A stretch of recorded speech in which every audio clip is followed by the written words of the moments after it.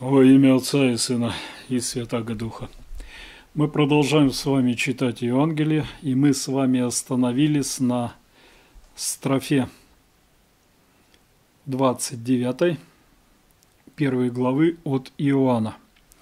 Ну, я возьму еще 28 и прочитаю вам следующий отрывок, который мы сегодня обсудим. «И это происходило в Вифаре при Иордане, где крестил Иоанн. На другой день видит Иоанн идущего к нему Иисуса и говорит, «Вот агнец Божий, который берет на себя грех мира. Се есть, о котором я сказал, за мной идет муж, который стал впереди меня, потому что он был прежде меня. Я не знал его, но для того пришел крестить в воде, чтобы он явлен был Израилю. И свидетельствовал Иоанн, говоря – я видел духа, сходящего с неба, как голубя и пребывающего на нем.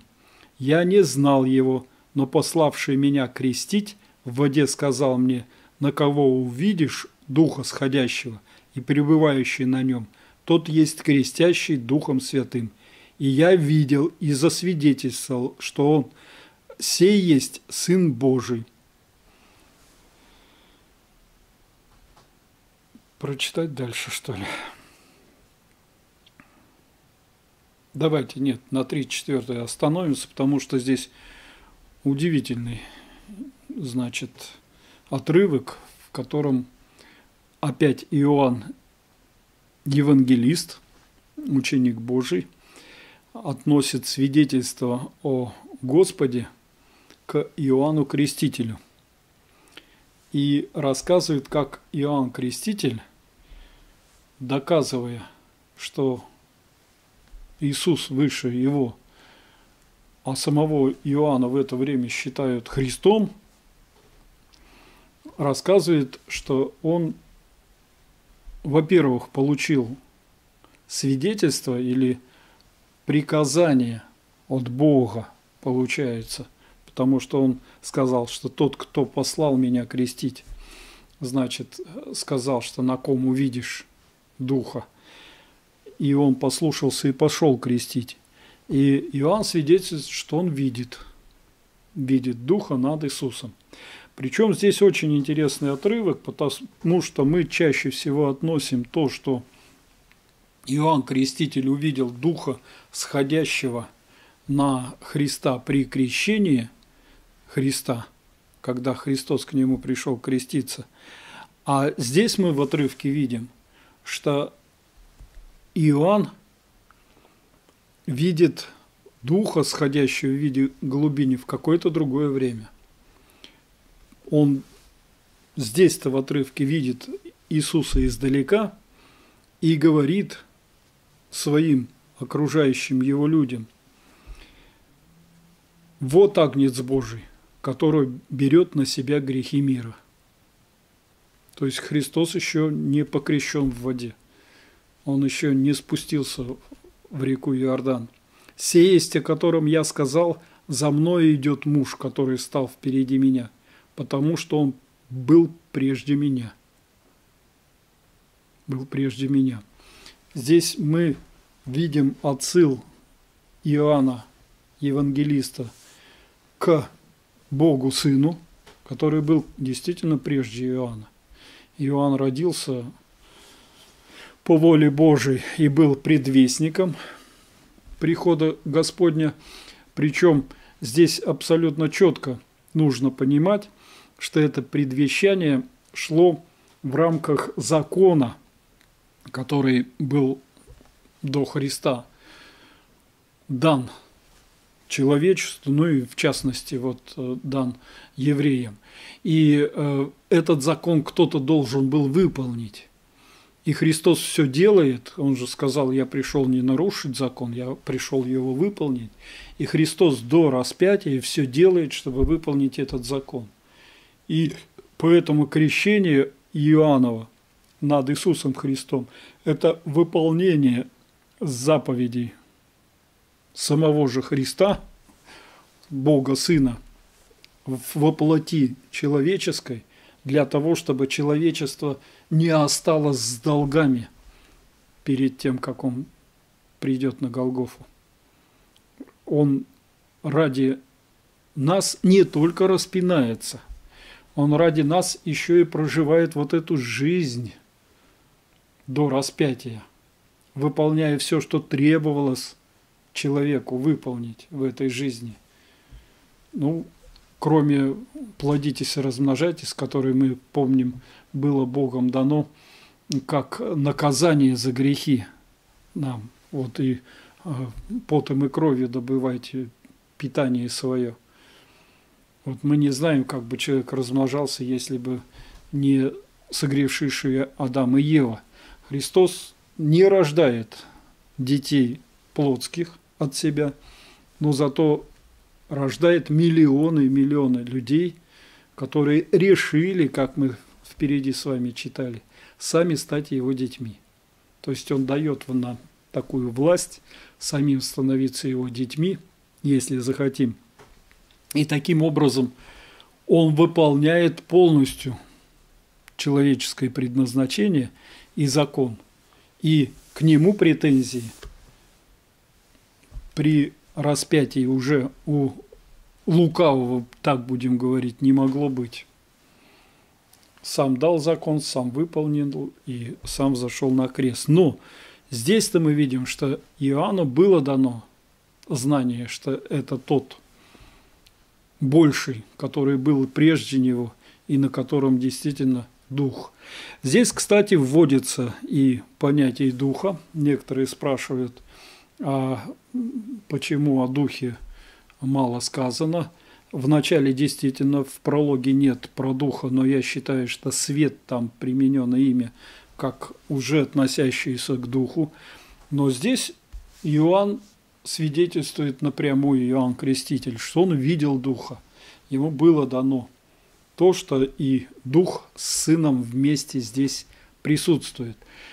И это для нас с вами опять же интересные свидетельства, потому что мы все как осознаем а, Христа, Бога человека, Бога человека, и действует Бога человек, и действует Сын, воплотившийся в а, Иисусе, Сын Божий, Слово, воплотившееся в Иисусе.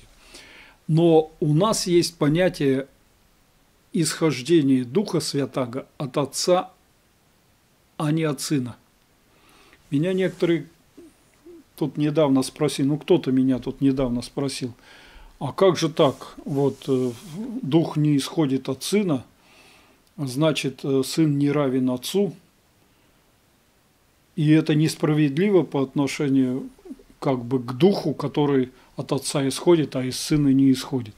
У нас по канону нашему мы действительно так исповедаем, что Дух исходит от Отца, Сын рождается от Отца, но Дух не исходит из Сына, от Сына. И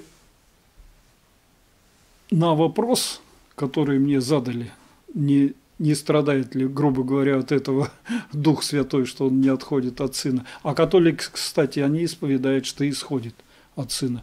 Я отвечаю так. Слушайте, ну и Христос не рождается от Духа. Он рождается от Отца.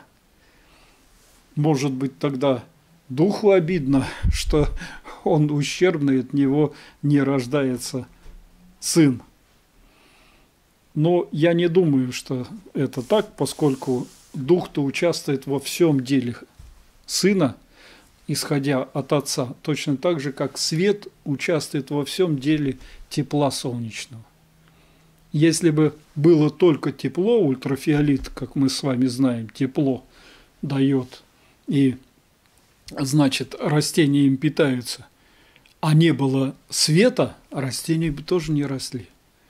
То есть все сотворенное по воле, по слову Отца Сыном обязательно освящается Духом. То есть и Дух в этом присутствует. И поэтому, когда мы с вами рассуждаем о Сыне, о Слове Божьем, воплотившемся в Иисусе и присутствующем вот на земле во время своей проповеди, перед человеком, воплощенным, мы должны осознавать, что и Дух Святой в это время с ним всегда был. И осуществляются чудеса, которые Господь делает, оживление там, э, мертвых, еще что-то. Оно осуществляется с помощью Духа Святаго. Вот того в виде голубина, который на крестившегося сына сходит, и, ну, по-видимому, не тогда, еще раньше с ним воссоединяется в действии, и поэтому и могут утверждать в какой-то степени, вот они в этом заблуждаются и говорят, ну как же, дух-то у него был уже и раньше крещения, то есть он уже какие-то чудеса совершал и раньше крещения, то есть там видел еще что-то, значит, из него дух исходит? Нет, он с ним присутствует. То есть ни один, ни одна ипостась присутствует в действии евангельских, а две. Ну и, конечно, все под волей самого Бога. И здесь мы это и читаем. «Я не знал его, но для того пришел крестить в воде, чтобы он явлен был Израилю». То есть говорит Иоанн, что я не знал сына. Никто Бога не видел, мы читали перед этим раньше. Но глаз был Иоанну, иди и крести, для того, чтобы он явился – и он явлен. И свидетельство Иоанн, говоря, «Я видел Духа, сходящего с неба, как голубя, и пребывающего на нем». Не в нем, а на нем. Вот поэтому католики в ересь впадают, и все остальные в ересь впадают, кто считает, что в нем Дух был в Слове Божьем. Я не знал его, но пославший меня крестить в воде сказал мне, на кого увидишь духа сходящего и пребывающего на нем, тот есть крестящий Духом Святым. Здесь меня эта фраза а, радует и маленечко так вот удивляет и восхищает, может быть, так, что Иоанну было дано по-видимому, не один раз свидетельство убедиться в том, что Иисус тот, кого он считает Богом.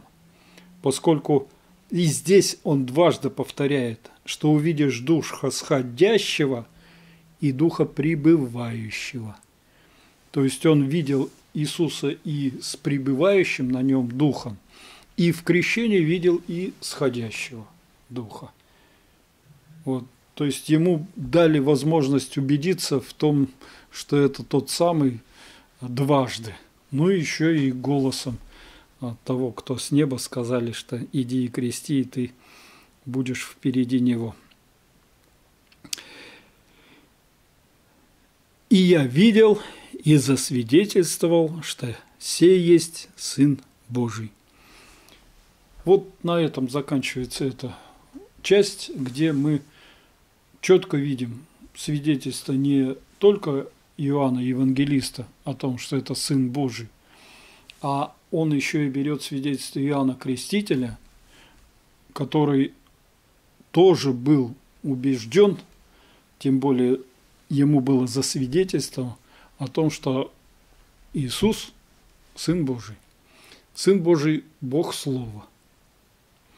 И имя ему Иисус это человеческое имя, а имя его божественное – Сын Божий, Бог Слова, а, слава, свет и множество-множество других имен, которые мы Сыну Божьему и Отцу и Духу даем, потому что мы Духа тоже не только Дух Святой называем, но еще и разными другими терминами, которые э, у нас с вами имеются, оживотворяющий, вот, ну и так далее. Поэтому, дорогие мои, читайте Евангелие. Еще раз повторяю, это лучшая молитва, которая сейчас нужна нам для сохранения нашей безопасности и нашего здоровья. Больше того, мне кажется, она главная молитва вообще для всей нашей жизни. Потому что, так сказать, сейчас читайте, а закончится карантин, вышли и забудьте, я не хотел бы. Я бы хотел, чтобы вы продолжали все время чтение Евангелия, изучение Евангелия, а, чтение толкований на Евангелие святых отцов. Вам очень много откроется всего в жизни. Очень много. Потому что э, Евангелие как некий код, код открытия для нас с вами огромного потока знаний и отношений с Господом. Так что приходите завтра. Я опять постараюсь выложить вам очередное прочтение. И Будем жить, все будет хорошо. Помоги всем Господь, здоровья, всем радости. Аминь.